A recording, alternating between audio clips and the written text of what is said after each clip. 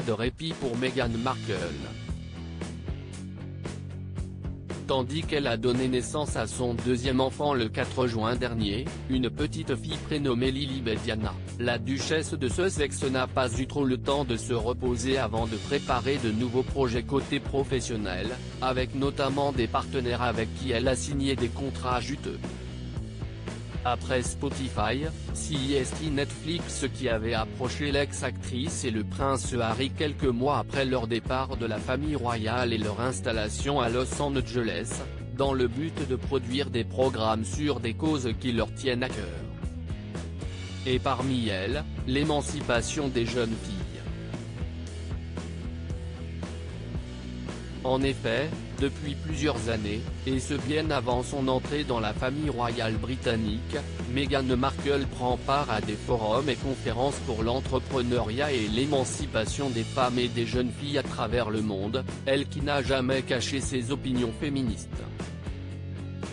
Alors quoi de plus normal pour elle que son tout nouveau projet? Comme elle l'a révélé sur le site de sa fondation Archewell, la duchesse de Sussex a été nommée productrice d'une série animée visant à pousser les jeunes filles à s'émanciper, inspirée de personnages féminins qui ont marqué l'histoire.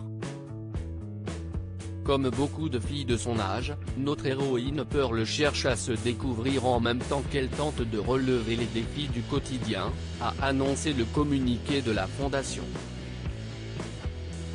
Comment va s'appeler la série produite par Meghan Markle Pour le moment, aucun titre n'a été officiellement dévoilé pour cette production qui devrait voir le jour sur Netflix, même si sur Instagram, Meghan Markle que celui-ci était pour le moment prénommé Pearl, un nom toujours en réflexion.